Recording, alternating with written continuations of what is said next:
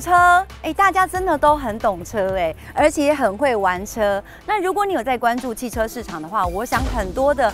排量迷思的信徒们应该都有关注到这台车。它除了做一个换新手术之外呢，我们来看一下啊。如果说这三个版本啊有哪一些差异性，你不能因为它只是就是做了一个换新手术，你觉得哦我要买一个 V6 的引擎，其他东西比如外观上面是不是符合你的期待呢？像我们今天这一款是最顶规的 Silver Sport，那入门的豪华呢，一百五十九万就可以入手了。那 Silver Sport 呢，它跟另外两个版本不太一样的地方，前保杆。它的整个形式就不太一样，就是它有运动化的套件，以及有 F1 的这个定风翼。那原厂是有告诉我说，他们在大灯的部分啊，它做动的反应的速度也比较快。我想这个应该一般人是察觉不出来的啦，但是他们的确是有做一些精进。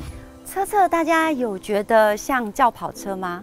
我是觉得它的线条看起来房车的意味多一点点，但是如果你今天选择是 Silver Sport 最顶规的话呢，它足下踏的跟一般入门还有中阶的车款是不太一样的。入门配的是十七寸的胎圈，可是我们今天这个顶规的是到十九寸的胎圈，更重要的是前四后二的这个多活塞卡钳，以及它的通风底也不太一样哦，前十四后十三点八寸的，这个在入门啦或者是中间的旗舰款都是没有有的。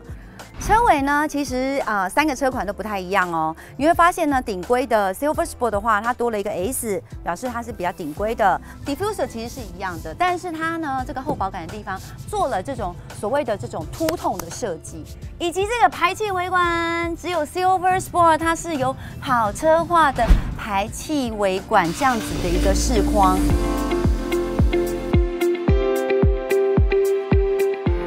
零三百 GT 啊，基本上因为它是属于比较斜背的造型，所以在后行李箱空间呢，毕竟也会比一般的房车要稍微吃亏一点点。可是它还是可以放一些东西哦，我们来实测看看。然后你要开后行李箱，你必须要把钥匙带在身上，这应该是美国那边的规定。就是如果你带不带在身上的话，你把钥匙放在车子里面或放包包里面的话，你走到后面是没有办法开启的。那这应该是为了安全的一个装置。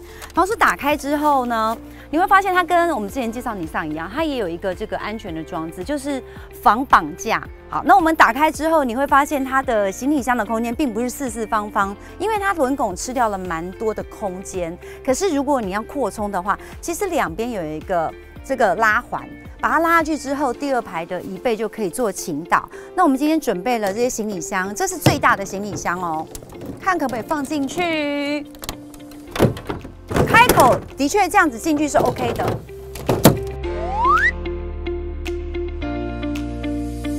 然后最后，开车一定要换布鞋哈，这高跟鞋只是为了好看，放进去。所以一家大小东西，我觉得如果说两天一夜或三天两夜的行李放进去是还 OK 的啦。所谓的豪华房车嘛，你看它连铺陈都很豪华，然后座椅啊，就是连门板上面都是一些皮质的包覆啦。还有呢，我很赞赏的是它后座椅的这个椅面的长度，可以完全支撑到我的大腿，我觉得它的支撑性非常的好。再加上呢，它的泡棉设定，坐在后座人就是要舒适嘛。你看它这么软。可是软中还有一些支撑性，同时它还有透气的一个造型，它的角度也蛮符合人体工学的。只是它的头部空间碍于说它的造型的关系，我只剩下大概一个拳头多一点点。如果后面这三个人，我觉得肯定是比较局促的，因为它的轴距大概二八五零嘛，那它的车长大概四米八左右。可是坐四个人其实刚刚好，最完美、最舒服。然后它中间的这个中央扶手啊，我觉得如果你是豪华品牌的话，你看。咚咚音，这个豪华品牌，我觉得这个地方有稍微要改进一下。同时，它后面有两个置杯架，还有一个可能女生会比较注意，男生可能不 care 这件事情。有时候呢，我们会带另外一套衣服嘛，在车上换。它这边有个小挂钩，哎，像我车上都后面没有小挂钩，我觉得这个小挂钩我觉得蛮贴心的，这个是我喜欢。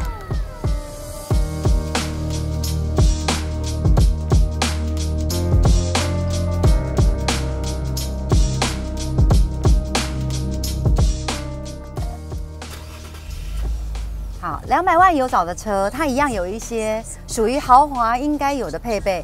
你看刚才呢，我一发动引擎的时候，它的方向盘就会自动降下来，调到我的位置，而且它有两组的记忆功能，同时它有电动座椅的调整。那只有在 Silver Sport 的话，它才有这种属于运动化的座椅，好包覆性也比较好。然后呢，在 Silver Sport 它还多了这个换挡的拨片。像入门的话，一百五十九万，虽然比较便宜，可是你并没有电动的四项调整。然后我们再来看一下哈，它这个中央的仪表台这个地方的铺陈，呃，时速跟转速都是传统的这种指针式的，呃，我觉得你可以看得到它所有的铺陈还是稍微比较 old fashion 一点，应该这样说，因为它毕竟已经到了这个产品的末期嘛，呃，在设计上面可能跟它的竞争对手三啦，甚至于 C 啦，还有这个 A4 啊这些比起来，那它稍微看起来的确是会有一点点显老态。但是实用性是很高的，你看一下它这两个荧幕哦，它这个原厂导航呢，甚至于它车内所有电控啦，以及操作的界面等等，它已经做了升级跟优化，所以呢，在处理速度上都变得比较快一些。然后 Apple CarPlay、Android Auto 它全部都配给你了，当你要连接 Apple CarPlay 的时候，它会在上面的荧幕显示。它就不会互相干扰。比如刚才呢，呃，我们想要看一下里面，比如安全配备有哪一些啦，就是在下面荧幕手套箱打开，这里面它有两个充电孔，然后它有两个十二伏的电源供应。那我只是觉得说，女孩子的角度来看，他们的收纳空间稍微小一点点，因为这里面的收纳空间很小。那中间呃的这个手套箱的置物空间也稍微小一点点。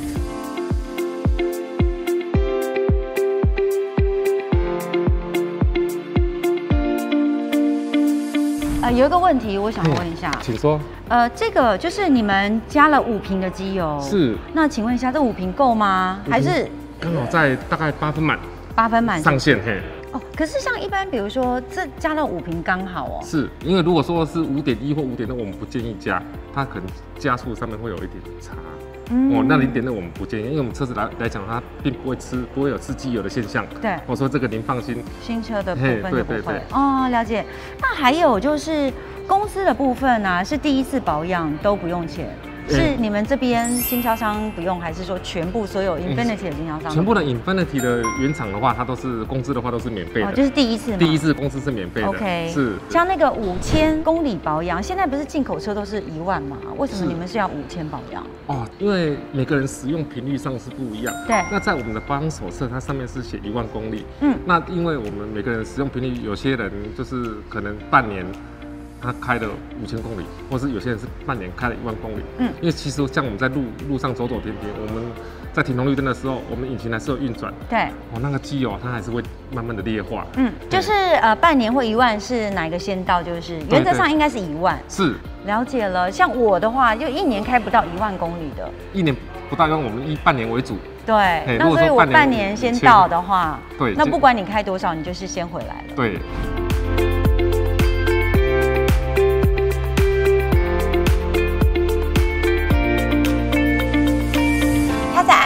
上面有所谓的 ADAS 的半自动的辅助驾驶哦，那它跟其他车厂不一样的地方，领先业界的应该就是它的 PFCW 超视距的预防追撞的警示系统，它其实也有放到你像 Central 上面，也就是说它可以侦测前前车，那它有什么好处呢？比如说我们前面的前面那台车是白色的那个房车，它如果说有状况的时候呢，它可以提早预夹刹车。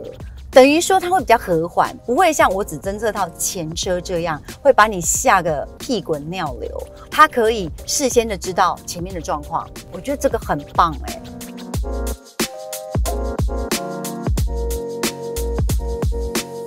它其实还有 ACC 自动跟车，也就是在 Infinity 它也叫 ICC。那它做动的速率是从零到一百四十四公里。开始起步的设定是三十二公里，它可以刹停到零，可是它没有含 stop and go。当我刹停到零之后呢，它三秒钟之后它就会释放掉刹车，你就必须要自己接受。那为什么没有办法含 stop and go 呢？因为它还是用传统的脚刹车。不过呢，你要想你在两百万之内买到这一台，人家说它是超级的性价比之王嘛。包括连盲点侦测的辅助它也有，它亮度是在这里面。因为一般的话，大部分都坐在的后视镜那边，可是有时候遇到下雨啦，或者是有一些状况，你可能看不太到。然后以及车道偏离，它有车道偏离的警示跟车道的调整，但是它并没有车道的居中，也就是没有到达 Level Two。它偏离的时候呢，它会一直闪那个黄色的警示。然后同时，它会让你方向盘有震动的感觉。可是呢，它是用预夹刹车，而不是用方向盘自动帮你修回来的方式。你会讲说，为什么台湾只有给一点点？其实只有日本有那个所谓的车道居中。你看，连美国其他的地区都没有，并不是说啊，只有给我们台湾，就是稍微给我们半套，不是哦。所以大家千千万不要误会。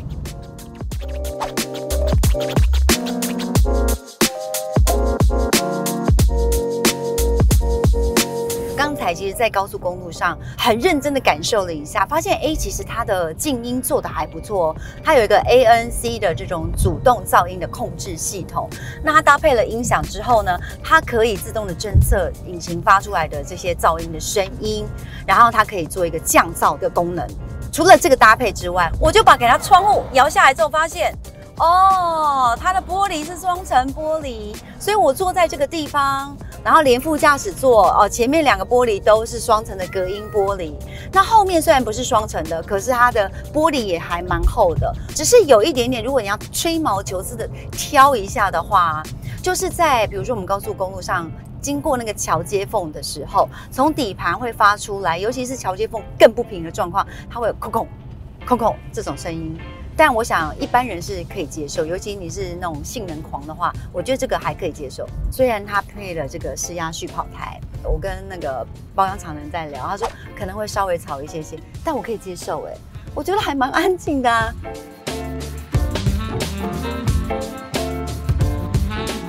以它的车格来讲，真的还蛮适合女孩子开的。第一来呢，我觉得它的呃座位的着座点比较高，然后第二个是它的驾驶的视野，即使说这个三角窗它并不是属于这种比较透明的，可是呢，它的视野并没有遮蔽到太多。对女孩子来开的话，其实你是安全的。还有它没有猛爆的这种输出感，即使你在 Sport Plus 的状况底下，我觉得它都还是比较线性的。这台车它可以说是呃欧日混血。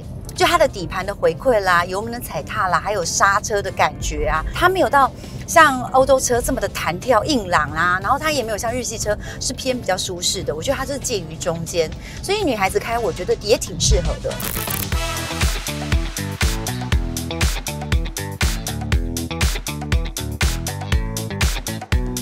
Q 五零三百 GT，它用的是 VR 三零的 DDTT 的引擎，而且它更加的轻量化，同时呢，它的效率更好。大家只要听到它是跟这个 GTR 的这颗引擎呢是系出同源，香不香啊？好香哦！所以呢，它这颗引擎它也在这个二零一七年、二零一八年的时候得过引擎的大奖。我现在设定呢。所有的包括发动机啦、传输，还有这个转向辅助，以及悬挂，都在运动的模式。我喜欢路感回馈比较鲜明的。但因为它只有在就 Silver Sport 它才有 DDS 的电子数位动态的这种悬吊系统，所以呢，基本上如果你真的买入门的话，你要去改这个电子悬吊，你可能只能降车身啦，或者是做一些悬吊系统的设定而已，可能没有办法跟这些电控全部绑在一起。还有，如果说你真的是买入门的话，你没有这个换挡拨片哎。我坐在车内听到的引擎声，比在外面听到的声音还好听。为什么呢？因为呢，它可以模拟声浪，就是透过这些音响。你看，它加的很线性，然后我觉得不是那种属于猛爆型的那一种的，尤其是中高速的再加速的感觉，我觉得是非常的好。刚才我在弯内还稍微加一点油门啊，因为它毕竟是后驱的设定嘛。它的尾巴稍微带出去那个感觉，你还是觉得是安全的哦。女生来开，你会觉得这台车真的它的可容许值真的还蛮大的。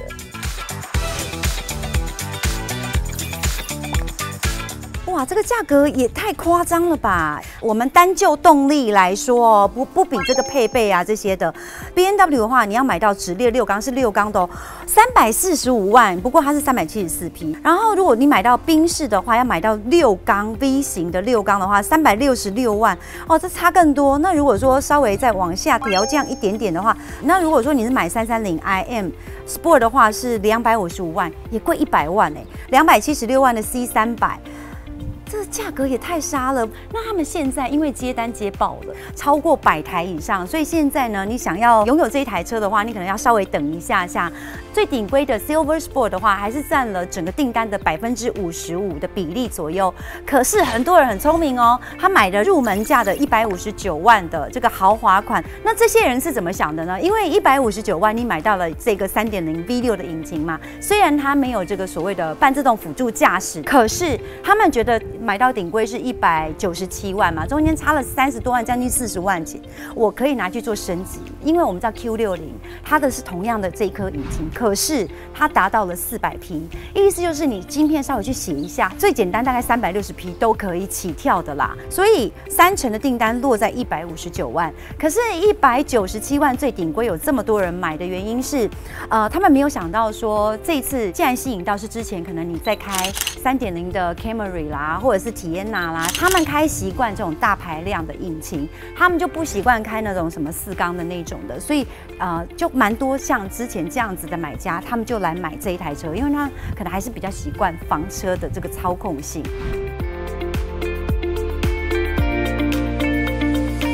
好，怎么样选择呢？大家自己好好的去想一想。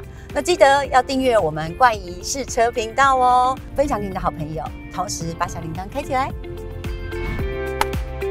终于买到了，今天是平日哎，有没有必要排队排这么久，这么的夸张啊？